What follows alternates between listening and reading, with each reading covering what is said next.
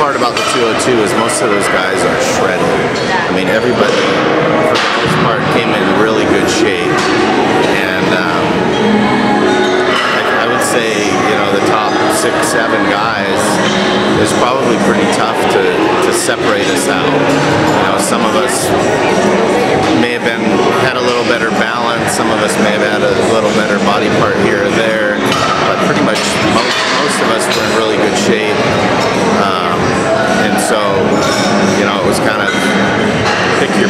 systems, you know, people like the best. Um, I think I think those guys, you know, everyone deserves the placing that they get because um, I know that they all work, you know, just just as hard as the next guy.